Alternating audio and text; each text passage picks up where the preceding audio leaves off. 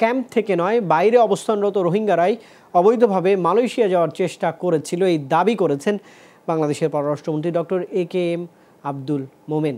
অবৈধ অভিবাসন ঠেকাতে ক্যাম্পের নিরাপত্তা জোরদারের কথাও জানিয়েছেন পররাষ্ট্রমন্ত্রী। বিশেষজ্ঞদের মত, রোহিঙ্গা সংকট সমাধানে সময় ক্ষেপণের কারণেই অবৈধভাবে সমুদ্র পাড়ি দেওয়ার চেষ্টা করা হচ্ছে।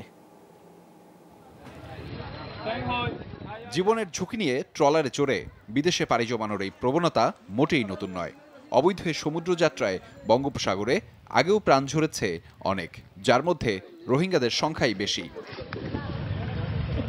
সম্প্রতি কাটাতারের বেড়া দিয়ে রোহিঙ্গা জনগোষ্ঠীকে নিয়ন্ত্রিত অবস্থায় রাখার কথা জানায় সরকার। পররাষ্ট্রমন্ত্রীর কাছে তাই প্রশ্ন ছিল, এরপরও কেন ট্রলার ডুবিতে প্রাণহানি? রোহিঙ্গা আগে একদল এসেছিল, এরা অনেকে আমাদের ক্যাম্পের বাইরেও থাকে।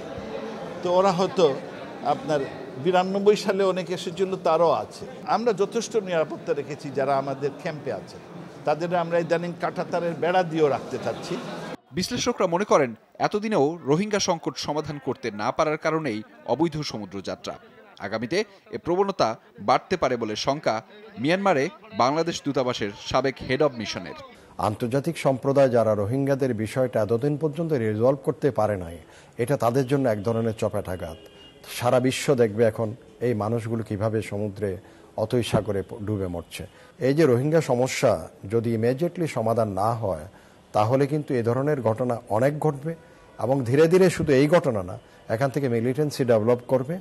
সাগরপথে রোহিঙ্গাদের ঝুঁকিপূর্ণ যাত্রা ঠেকাতে গোয়েন্দা নজরদারি বাড়ানোর পরামর্শ দেন সাবেক সেনা কর্মকর্তা।